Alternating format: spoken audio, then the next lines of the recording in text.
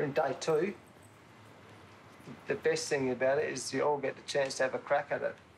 As we said for nine months, is make Australians proud of us, make each other proud of us, and bat our ass off. That's what Australians want to see from you.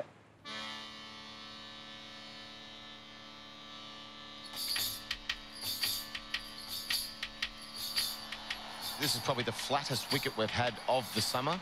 If you're ever going to make some runs, this is the time to do it. Chopped it on, and it's all over for Harris. It's taken. All falling apart again for the Australians. Bowled in, beautiful bowling. It is crumbling before your very eyes.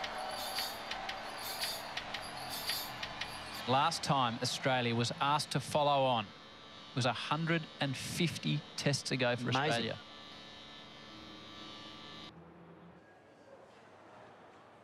There was a sense that Australia had lost its way again, that there'd been some false dawns. They were tired, they were worn down. a pivotal moment for me was that we were at breakfast on day three of the Sydney Test match against India. And I've known my wife since I was 14 years old, right? So we've known each other a long time and we're sitting at breakfast and she starts crying. I said, what are you crying about? Like, my wife doesn't cry, mate. I don't, she's sort of been in this game. And she got really upset. She goes, I just don't like what it's doing to you. I don't like what it's doing. I just, you know, smiling. I just, and she was really, she was, up, she was crying, mate. And that was a massive wake up call for me. It was really tough. I, it really got to me.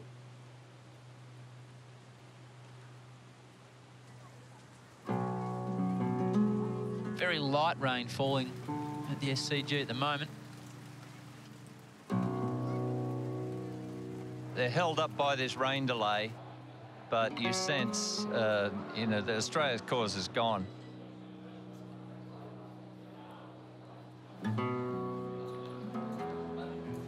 Cheers, boys. All the best. What a fizzer of a way to finish. India deserved its 3 1 result. It deserves something more than the umpires walking into the change rooms and saying, Congratulations, we're calling the game. You've drawn this and won the series. They outplayed us. You know, they had guys scoring hundreds and big hundreds, and, and we didn't. And it was disappointing. You know, in, in India winning, I think the first time in Australia to be a part of that, yeah, it stings a bit. I think especially when it's on Australian soil. That's only the second series that I've lost, I think, in Test Test cricket. You meant to win Test series in Australia, playing as Australian cricket team. To be honest, India outplayed us. They were hungry. I've never seen an Indian team fight like that before.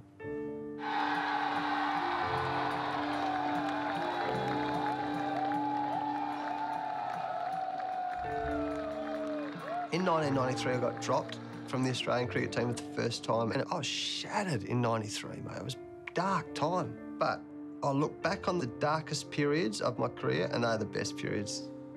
They're the best periods of my cricket career because I had to learn, I had to get better. And I am absolutely certain in 10 years' time, I'll look back on Christmas and New Year of this year and think that was a really dark time. But I'm so glad I went through it. It'll be the catalyst for me being a much better coach.